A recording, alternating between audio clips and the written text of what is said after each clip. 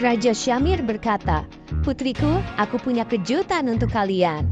Putri Anaya mengatakan, Ayah, apa itu? Kerajaan Sahal kita telah memenangkan turnamen bola voli internasional, mengalahkan semua tim lain di dunia.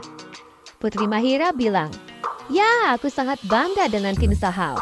Mereka telah bekerja keras dan berlatih dengan baik. Ya, mereka layak mendapatkan pujian dan terima kasih kita. Itulah sebabnya aku memutuskan untuk mengadakan pesta besar dan perayaan untuk kita besok. Putri Anaya berkata, sebuah pesta dan perayaan kedengarannya menyenangkan ayah. Ya sayangku, kita tidak bisa mengabaikan pencapaian besar kerajaan kita ini. Ini adalah peristiwa yang langka dan mulia, dan kita harus menghormatinya. Putri Mahira berkata, Aku setuju, Paman. Kita harus merayakan kemenangan ini dan menunjukkan penghargaan kita kepada para tim.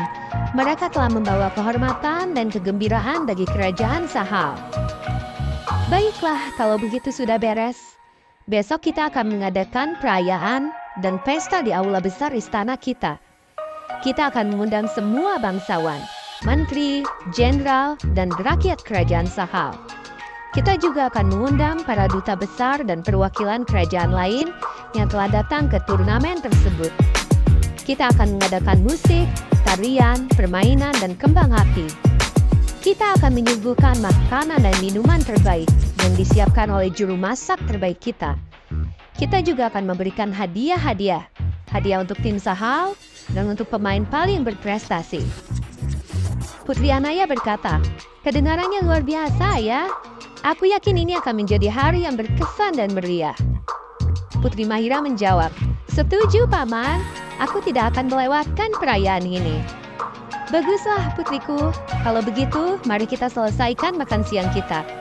Dan pergi ke kamar kita masing-masing. Kita perlu istirahat yang baik dan bersiap untuk besok. Kita juga perlu membeli pakaian dan aksesoris kita agar tampil terbaik untuk acara ini. Putri Ayah ber Naya berkata, Ya ayah, mari kita lakukan itu. Mahira menjawab, Ya paman, terima kasih untuk semuanya. Sama-sama sayangku, aku sangat mencintai kalian kedua.